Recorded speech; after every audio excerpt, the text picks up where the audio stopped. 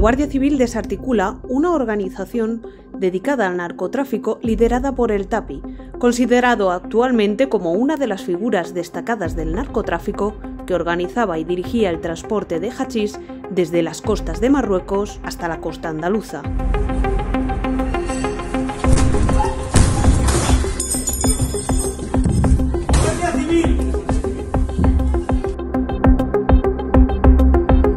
Se han detenido a 46 personas en 22 registros efectuados en las provincias de Cádiz, Málaga, Almería, Murcia, Barcelona y la ciudad de Ceuta.